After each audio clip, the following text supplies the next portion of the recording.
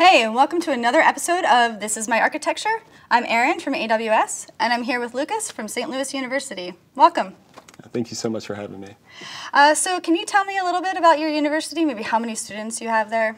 Yeah, so we have over 12,000 students supported by over 2,000 faculty, and we have a academic uh, medical practice as well as a law library. Oh, wow. Okay. So um, we have Lex here, so it seems like this is probably some sort of chat bot for your students and faculty.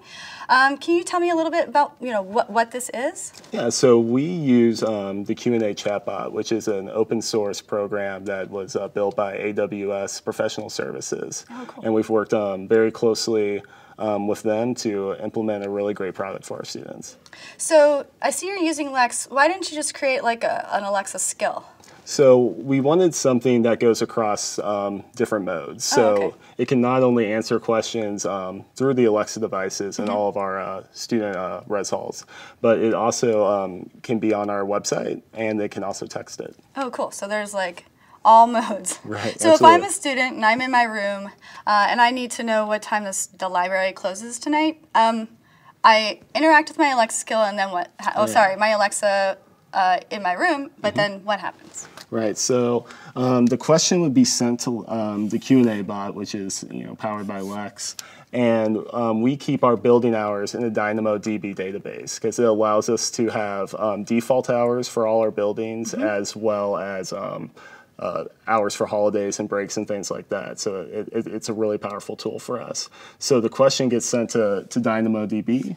Um, if you asked um, when's the library open, um, the the bot um, would respond, which library do you want? Oh, yeah, 'cause you have more, right? Right, so you would specify, say, the law library, and it would return back the hours for that specific day. Okay. And why did you pick DynamoDB? It, it allows us, so for our content Mm-hmm. folks, you can put a, um, a you know, a, a website on top of it. So Oh, from a, it, it provides a, a GUI interface where you can enter your hours, and then the ability to set defaults for, for all your different, um, you know, building objects is really great for us. So it makes it just a little bit easier to enter data as needed. Yes, absolutely.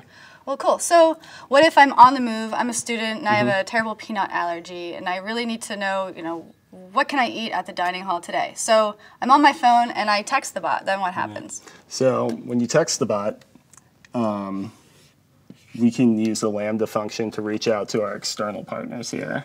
so Oh, cool. reach out to our food vendor. Um, they have coordinated with us on the schedule, so we always know we're getting up to date information. Oh, nice. um, so if you were specific about dinner, it would return um, dinner options.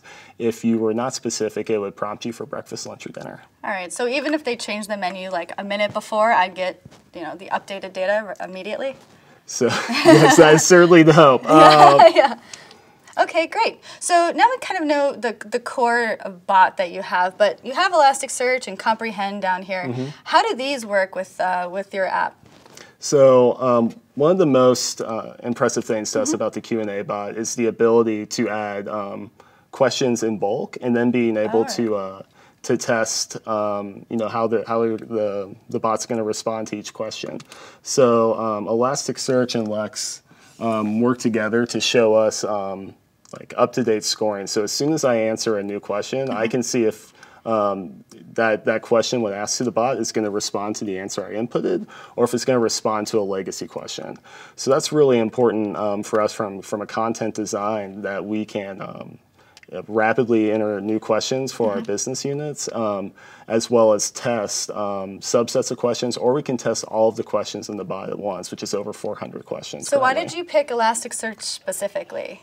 So Elasticsearch um, provides real-time scoring on all the questions that we enter and what what um, answer each question will map to. So as we're adding content to the bot, we can we can see quickly if um, we've added enough keywords to that question Oh, nice. to get the right answer. And um, what Comprehend allows us to do is hone in on keywords. So the bot is only answering questions that we expect it to answer, Oh, right. and isn't giving um, you know answers to, to things it really doesn't know. And um, from a from a content um, design and control point of view, that's really important to us. So why did you pick Elasticsearch? So um, essentially, j- just because of the, the, the real time scoring and Oh, yeah. the, and the, the way it's it's so easy to enter questions and see the results. I can see that that would be really helpful for you guys to understand if you are answering the questions properly.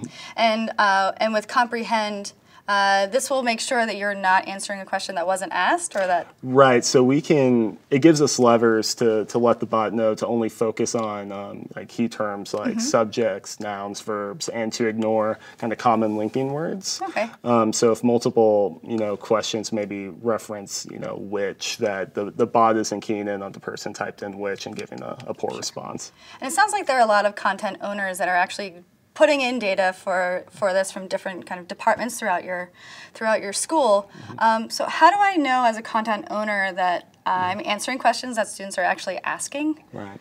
So if a if, if the bot gives an answer Mm-hmm. that um, you can you can leave feedback as the user. So within each um, chat bubble on the bot, there's a there's a thumbs down that you can click, Oh, okay. and that sends out to all content um, owners Mm-hmm. um, an email that shows the question as well as the answer that was given, and then we can see if perhaps it's an answer we don't have yet, Mm-hmm. or maybe it's giving a poor answer.